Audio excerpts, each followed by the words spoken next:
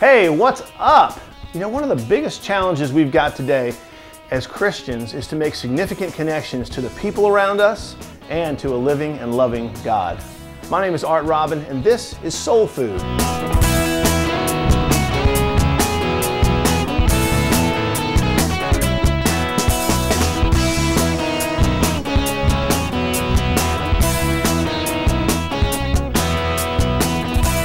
Today we are cooking a dish that I learned to make while on a mission trip to Cuba.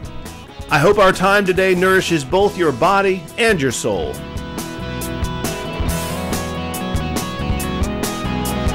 Hey, I've got a special friend with me today, Zoe from my youth group at church. Hey, what's up? Good to see you. Ready to do some cooking? I'm ready. Let's Sweet, do it. let's do it. Hey, listen, we're going to throw this pork thing together, but before we do that, you know, one of the things that was the key, absolute key ingredient to this dish in Cuba was the scripture that they used. Um, and it says, How can they hear unless there's someone to proclaim him? This was at the basis, the bottom, the main ingredient to their, their evangelistic work down in Cuba. They figured, how is someone going to hear about the gospel of Jesus Christ, a living and loving God, unless there's somebody there to proclaim that good news to them?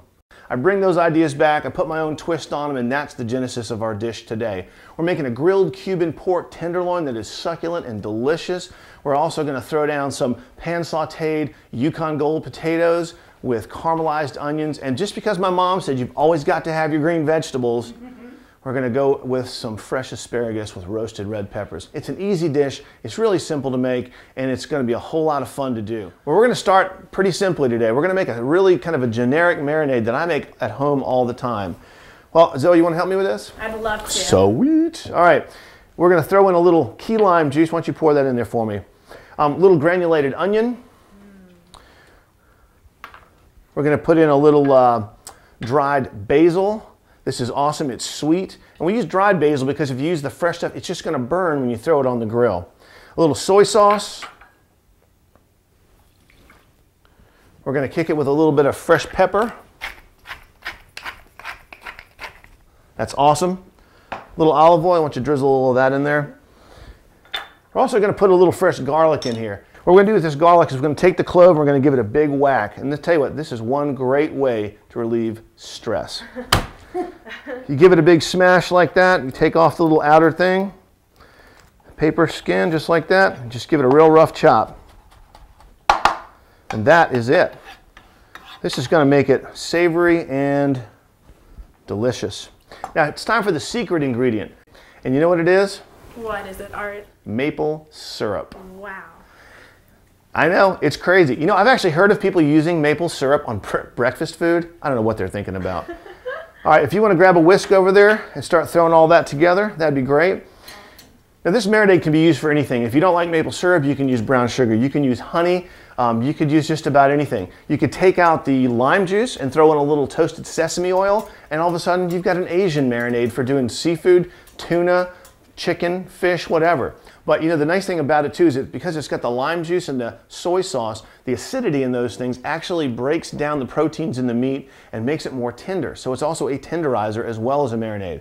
And because of that, we want to leave it, the pork in the marinade only about 30 to 45 minutes, otherwise it just gets kind of funky. And if you want more information about the recipes, you can always go to our website, mysoulfood.tv, grab some recipes, download some devotional stuff and some scripture stuff. How's it smell? Smells delicious. Awesome, awesome. You want to drink it? Um, I'm sure it's gonna be great on the marinade. Oh, okay. Well, what I do want to do is uh, rinse off my hands a little bit here. We don't want to cross-contaminate. That's kind of important.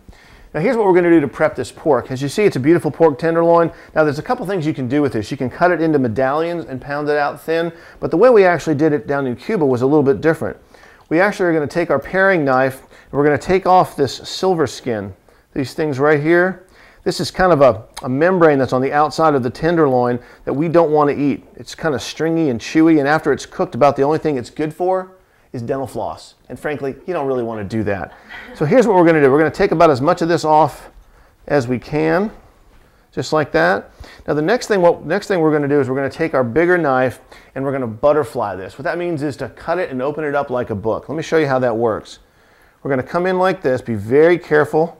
You need a very sharp knife to do this, and you want to cut it through, but not all the way through. So it's opened up like this. And you lay it nice and flat. See how that looks? Isn't that beautiful? And now you've got all the great meat there. The next thing we're going to do is we're going to take it and put it between a couple pieces of plastic wrap and pound it out super thin.